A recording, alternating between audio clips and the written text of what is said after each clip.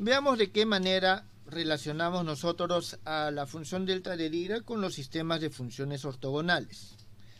Eh, vamos a decir inicialmente, dada la función f de x, eh, voy a ponerlo así de forma genérica, que satisface las condiciones para ser desarrollada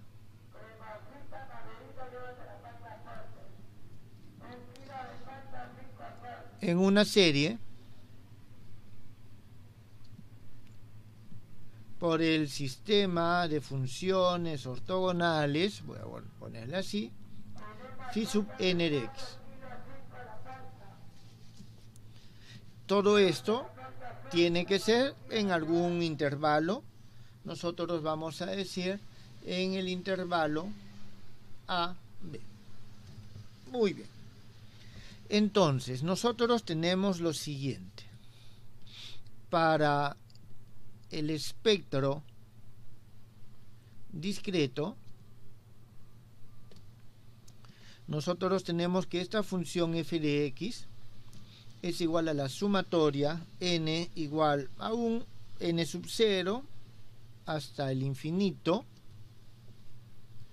de a sub n phi sub n de x. Vamos a decir que esta es nuestra ecuación número uno de esta sección. Entonces, nosotros sabemos cómo podemos hallar los coeficientes. En primer lugar, vamos a ver lo siguiente. Eh, teniendo en cuenta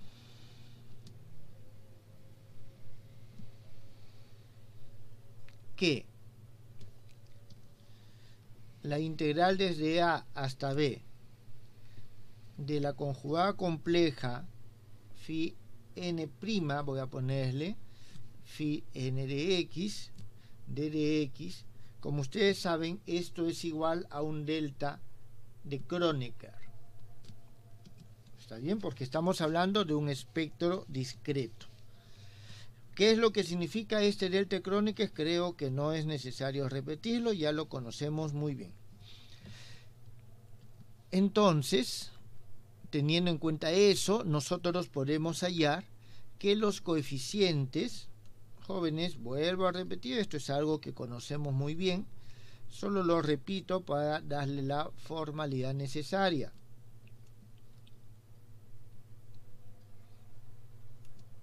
¿Está bien? Y... Un momentito, sí. F... No, ahí nomás es. F en X, D de X. Aquí me estoy olvidando este. Muy bien. Entonces tenemos los coeficientes. Estos no son otra cosa que los coeficientes de Fourier. 3. Ahora reemplazamos 3 en 1.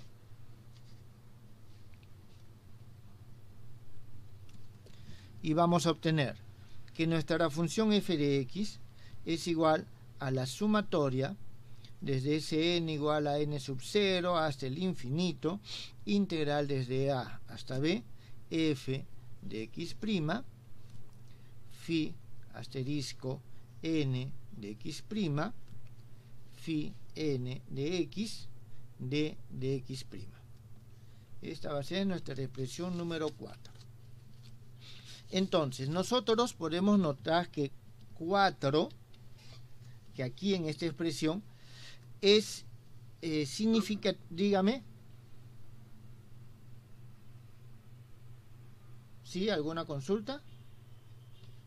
Sí, profesor, en 3, este, eh, el coeficiente Fourier no se dividía entre una norma. vamos a considerar de que es, las funciones son ortonormales, ¿está claro? Ah, Para evitar esa división, es decir, vamos a asumir de que ya está normalizada la función. Por eso, eso está acá. Fíjate. Porque cuando son iguales nos da 1. Entre lo que se divide es entre esto cuando n es igual a n'. ¿Está claro? Bien, entonces eh, aquí es significativo el orden de la suma y la integración. De nuevo, primero hay que integrar con respecto a x' y después tomamos la suma de ese número infinito de términos. No podemos cambiarlo en términos eh, concretos. Es decir, no podemos porque esta es una suma impropia. Pero ¿cuál es nuestro objetivo? Poder expresarlo en términos de la función delta de Dira. ¿Cómo es que esta serie de Fourier, que está acá, expresarla por medio de la función delta de Dirac. Tiene que aparecer de alguna manera. Entonces, nosotros, para hacerlo, para poder hacer ese intercambio, vamos a introducir una función auxiliar. Introducimos la siguiente función auxiliar. Sí, un momento. Entonces, con la función auxiliar que nosotros vamos a introducir, vamos a reescribir esta expresión. Entonces, la función auxiliar es la siguiente. Le vamos a llamar delta sub n x' menos x, que va a ser igual a la sumatoria n igual a n sub 0 hasta el infinito, no, disculpen, hasta n de phi n conjugada compleja x' multiplicada por phi n de x. Aquí creo que es importante que nosotros nos llevemos esta expresión. Entonces, esta es nuestra expresión número 5. Ahora, nosotros vamos a reemplazar 5 en 4.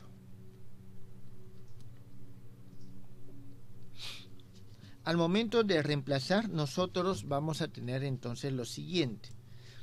Tenemos que este f de x va a ser igual al límite cuando el n tiende al infinito de la sumatoria n igual a n sub 0 hasta n, integral desde a hasta b, f de x' phi conjugada n x' phi n x d de x'. Entonces, fíjense, al hacerlo, o sea, al hacer primero este eh, cambio, esta sumatoria ya se convierte en una suma regular, ya no es una sumatoria impropia. Por lo tanto, como el n y el x' son independientes, ya puedo permutar, permutar los órdenes de la suma y la integración acá. Entonces, yo aquí ya puedo escribir lo siguiente. El límite, cuando el n tiende al infinito, de la integral desde a hasta b, f de x' y lo que queda dentro es la sumatoria de este producto, que es justamente esto que está acá. Entonces tenemos delta n x' menos x de x'. Esto, todo esto va a ser la expresión número 6. Entonces, reescribimos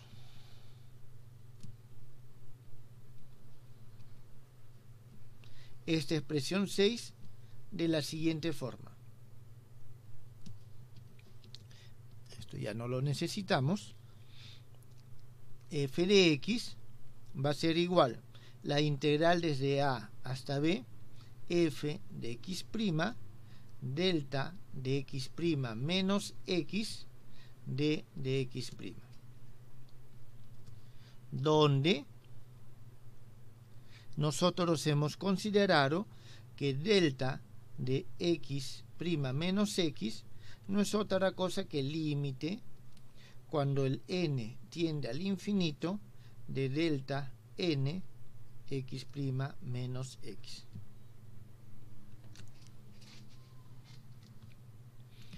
¿Está claro, jóvenes? Ahora, aquí hay que tener en cuenta lo siguiente. Eh, el carácter de esta integral consiste en que, en principio, nosotros tenemos que hacer el paso límite después de calcular la integral. ¿Está claro? O sea, aquí nosotros, eh, de nuevo, primero tenemos que integrar y después calculamos la integral. Entonces, aquí hay un paso formal más que efectivo. Ahora, lo que nosotros estamos teniendo es de que la función delta de Dirac se ha convertido en un, eh, el núcleo de un operador integral que nos está transformando, está bien, que nos está transformando esta función f de x' en x, es decir, eh, la función delta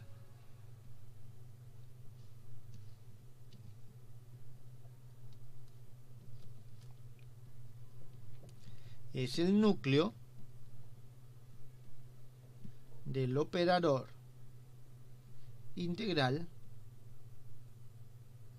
A este operador integral le voy a llamar omega, de tal manera que se cumple lo siguiente, que nuestro f de x es igual a este operador omega que actúa sobre la función f de x'. Es decir, nos transforma esta f de x' en el f de x. Ese es el sentido que tiene la función delta en, esta, en este análisis. Profesor, una pregunta. Dígame. Eh, no me quedó muy claro eh, por qué cuando n, n tiende al infinito eh, se transforma en la delta de, de Dirac.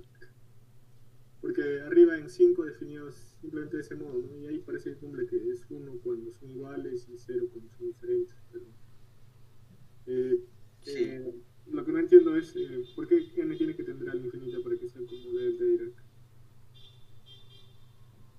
Si pudiese reescribir 4, profe, porque yo tampoco le entendí esa parte. 4. Claro, 4 porque reemplaza ahí. reescrito es esto. ¿Está claro? Lo único que he hecho he cambiado el límite de integración. O sea, aquí ya no sumo hasta infinito, sino subo hasta n, pero voy a tomar el límite. Esto en principio es 4. ¿Está claro? ¿En Esto 4 se tenía la delta Dirac? no.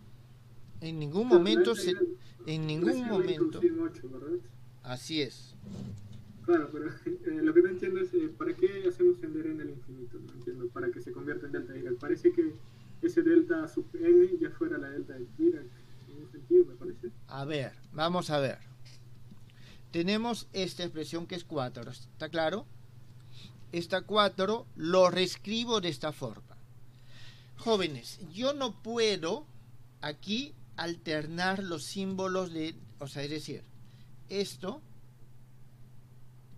yo no puedo hacer esto. Claro. Dijo que era impropia y tienes que pasar la propia y, y aplicar el límite luego. Así, yo no puedo hacer esto. Eso no es posible, ¿está claro? Ujú. Sí, eso quedó claro. profe. Entonces, para poder formalmente intercambiarlos, hago esto. Entonces, ya a partir de aquí, esto, todo esto es regular. Ya puedo intercambiarlo y ya puedo pasar de aquí a acá. Sí. Entonces, como el f de x' no depende de n, agrupo lo que depende de n y a eso le doy este nombre. Claro. Notación. Es- solamente es notación. Ahora, Claro, profe, creo que ese 5 en 4 debería estar escrito debajo de la, entre las dos líneas amarillas para que no genere confusión.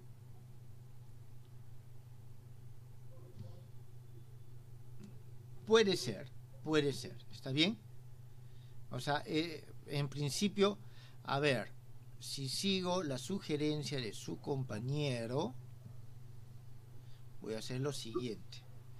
Mm.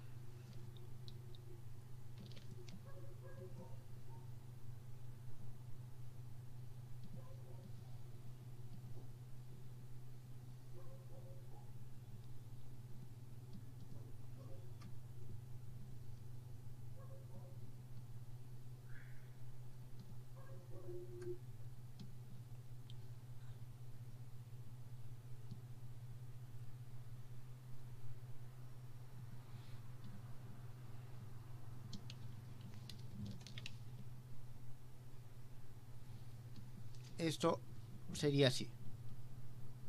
¿Correcto? ¿Les parece más claro? Eh, sí, Sí, profe. O sea, Profe, se, había quedado en 6 y luego no terminó de completar la idea. Eh, hasta 6 la entendí, terminando ya, 6. ok, perfecto, perfecto. Ya, esto ya está más claro. Reescribo 4, reescribo 4, introduzco la función auxiliar y lo vuelvo a escribir acá. ¿Está bien? Ya. Hasta ahí ya quedó claro, por lo tanto déjenme borrar esto.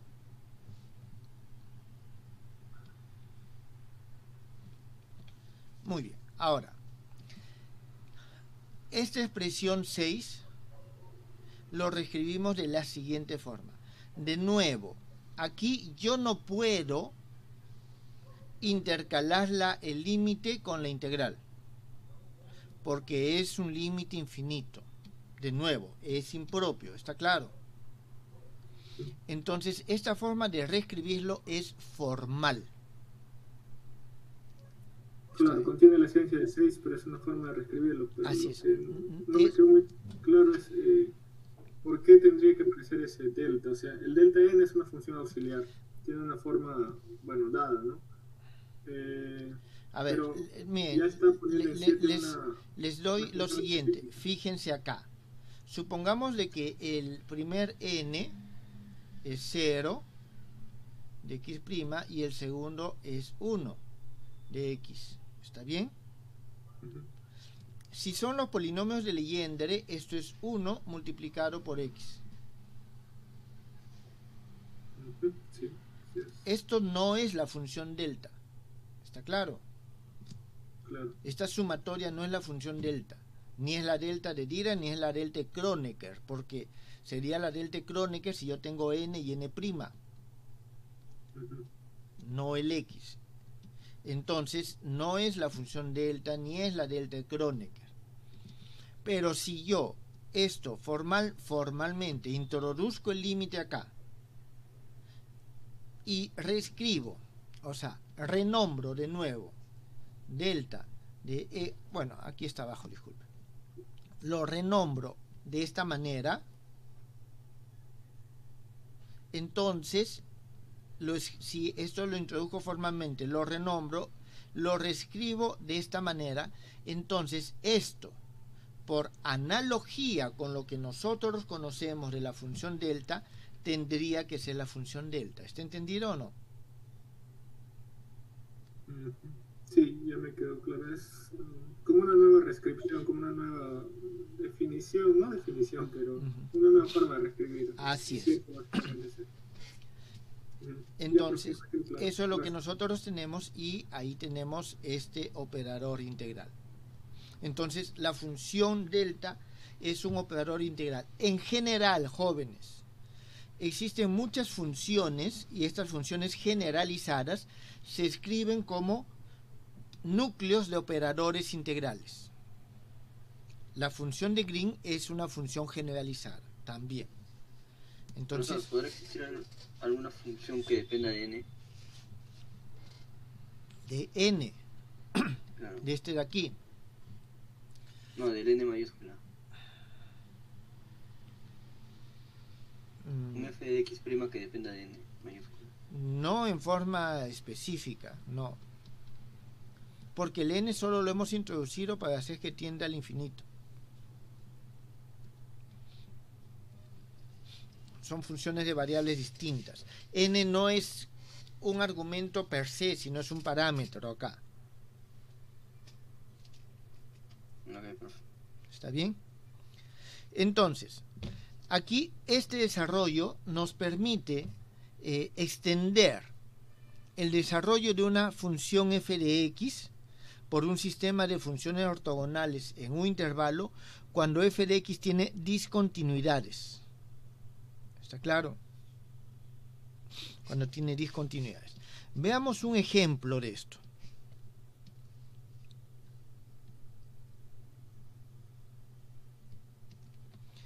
Eh, sea que tenemos el siguiente sistema de funciones ortogonales.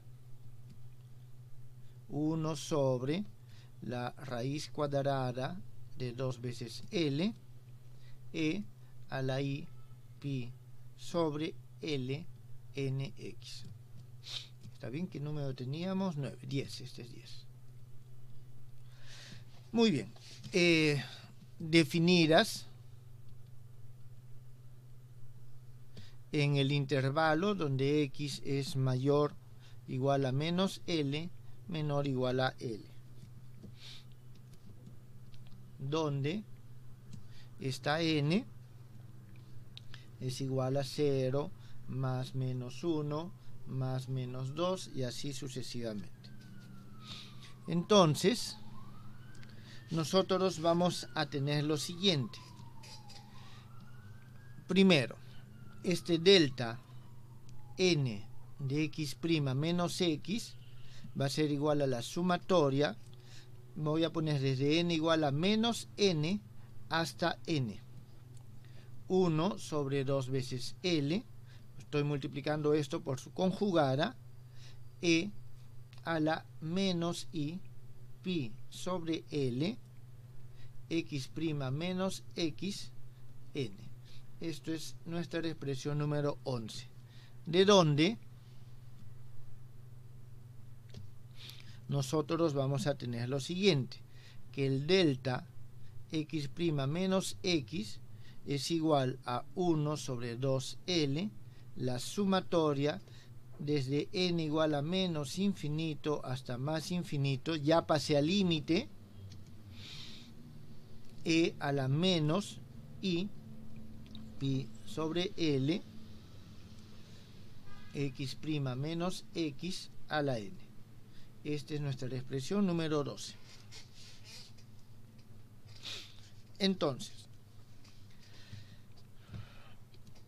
ya tenemos una forma de expresar la función delta.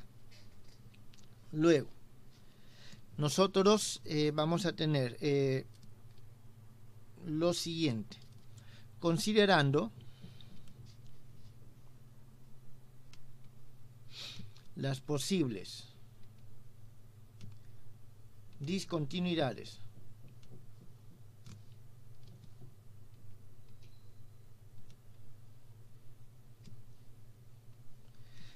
de la función f de x, nosotros vamos a obtener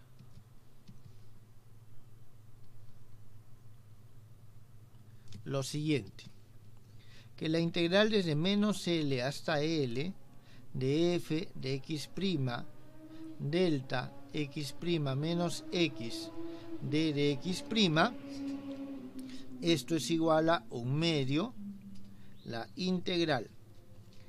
Aquí vamos a tener f de x más 0. Estamos considerando que hay una discontinuidad en el punto x, ¿está claro?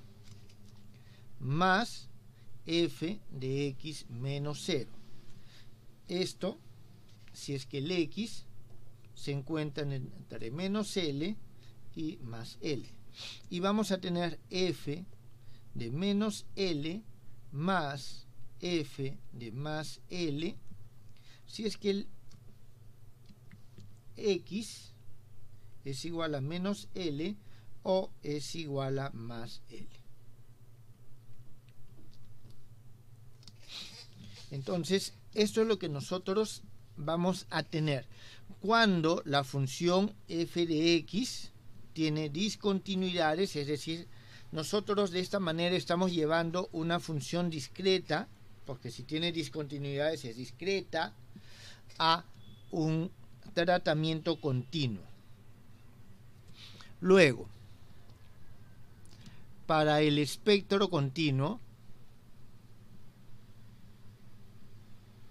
es decir, cuando nosotros no tenemos derivada de, de Fourier eh, o serie de Fourier, sino integral de Fourier, ¿Está bien? Es decir, vamos a desarrollar f de x en serie Fourier. Eh, nosotros hacemos lo siguiente. Vamos a decir que pi n sobre l va a ser igual a k. Acuérdense cuando hicimos integral de Fourier, delta de n es igual a pi sobre l. igual a delta de k, k, y aquí voy a poner la diferencia, voy a poner un k mayúscula, es igual a pi, el n mayúscula, sobre el l. Entonces, aquí nosotros vamos a hacer, vamos a pasar luego, pasamos al límite. Profe, disculpe, ¿podría volver un rato, por favor? Gracias. Entonces, cuando pasamos al límite, o sea, ¿qué límite vamos a pasar? Vamos a decir nosotros de que el L tiende al infinito, el N tiende al infinito, pero para esto nuestro K va a ser una magnitud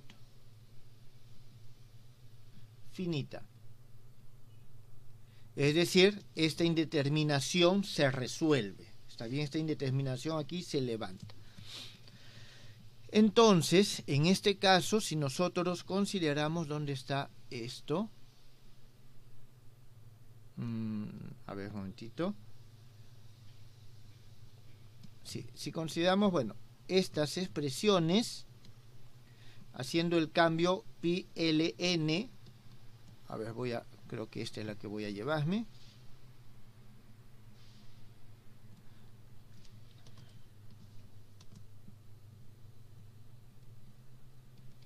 Entonces nosotros tenemos esto. Vamos a obtener lo siguiente. En este caso, el delta de x va a ser igual al límite cuando el k tiende al infinito. Momentito es el k minúscula, no hay que confundirlo.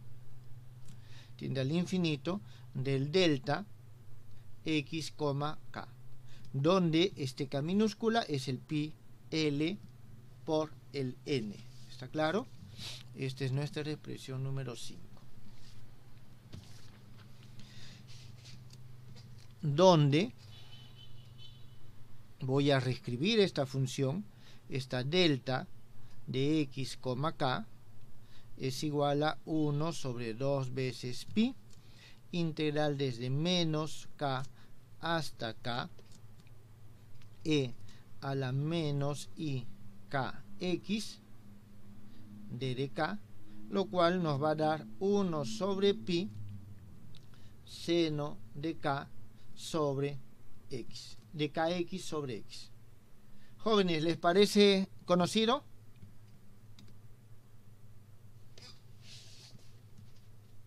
Es la misma función auxiliar que con la que hemos trabajado antes, ¿está claro? Entonces, aquí nosotros vamos a tener lo siguiente. El límite, el límite, cuando k tiende al infinito de 1 sobre pi integral de fx' seno de k x' menos x sobre x' menos x de x', en este caso va a ser un medio f x más 0 más un medio f de x menos 0. ¿Por qué? Porque esta es la función escalón que hemos visto anteriormente.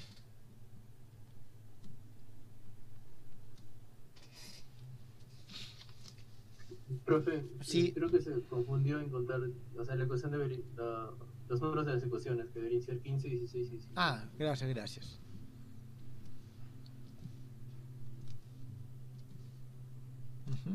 Muy bien. Entonces, nosotros vemos toda esta concordancia, por lo tanto, eh, a ver un momentito. Por lo tanto, nosotros vamos a tener de que la función delta de x va a ser igual a 1 sobre 2pi, la integral de dk e a la i k x. Y esto es lo que nosotros vamos a considerar de que es, ¿qué cosa? El desarrollo de la función delta de x en una integral de Fourier. ¿Está bien? En una integral de Fourier. ¿Eso está claro, jóvenes? Ahora, volviendo acá, volviendo acá, nosotros vamos a tener algo que es bastante interesante. Y voy a colocarlo aquí. La condición de orto y voy a ponerlo así normalidad para el espectro continuo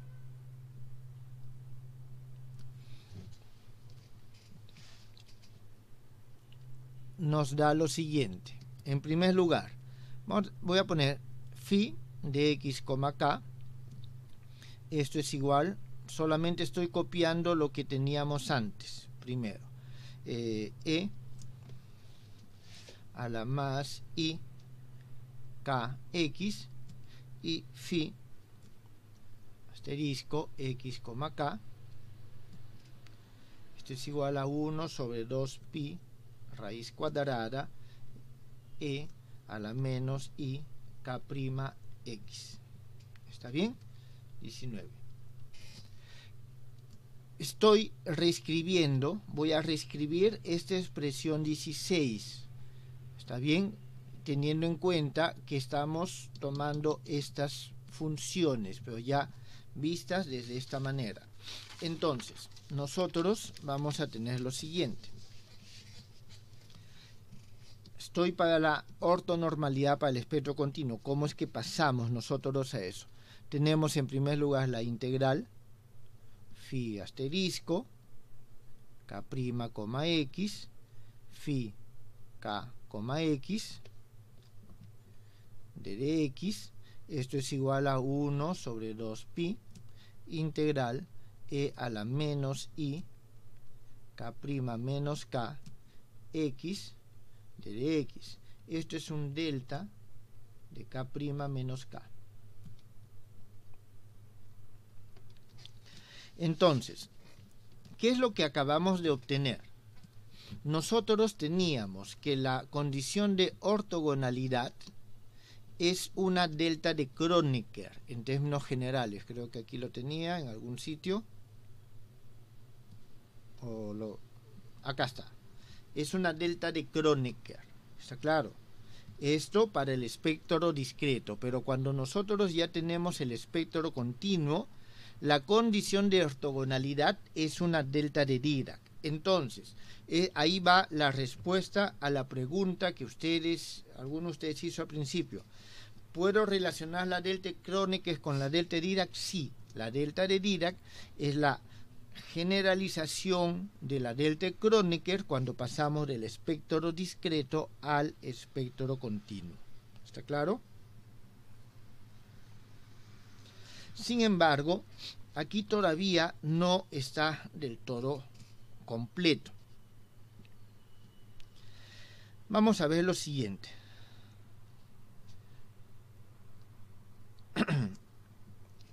Vamos, consideremos, en lugar de las expresiones 19, usemos las siguientes.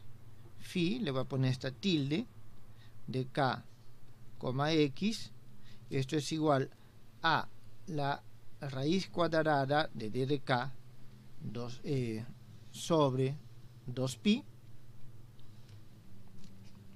e a la i k x. Y vamos a tener nosotros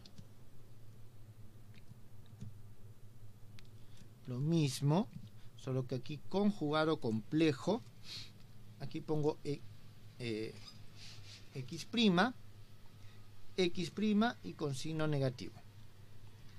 Entonces, nosotros de aquí vamos a tener que nuestra condición de ortogonalidad para estas nuevas funciones es lo siguiente. Aquí vamos a tener la integral phi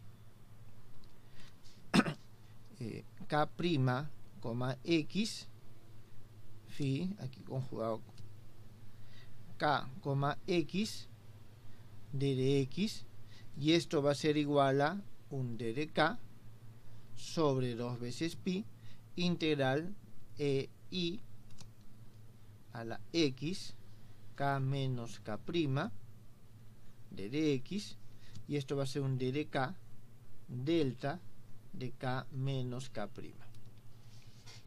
Entonces, en este caso, nosotros tenemos que el delta de x menos x' es igual a la sumatoria con respecto a k de estos productos.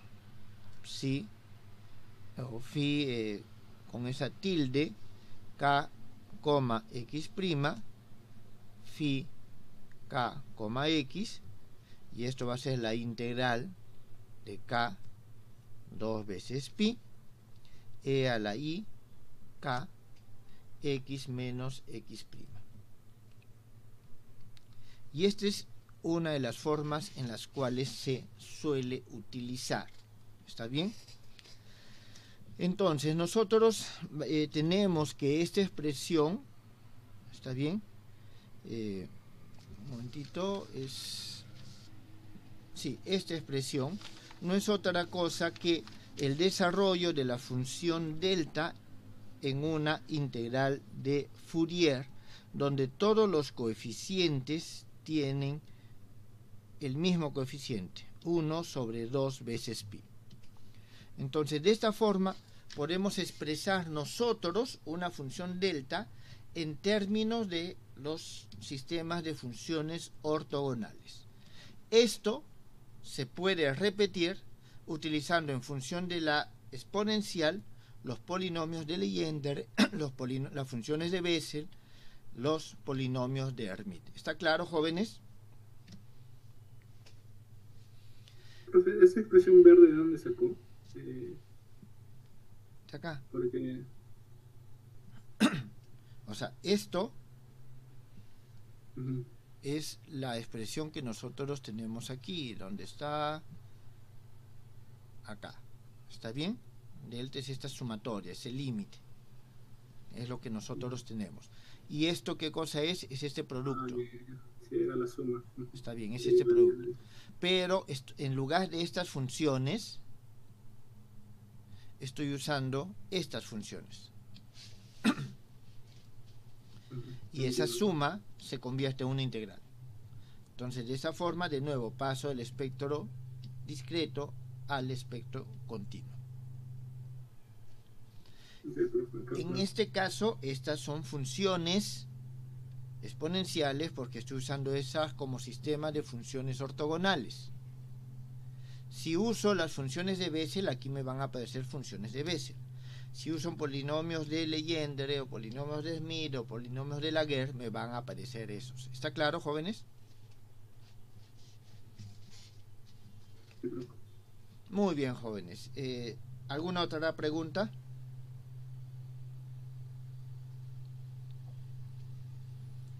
Si no hay preguntas, ahí quedamos el día de hoy. Muchas gracias.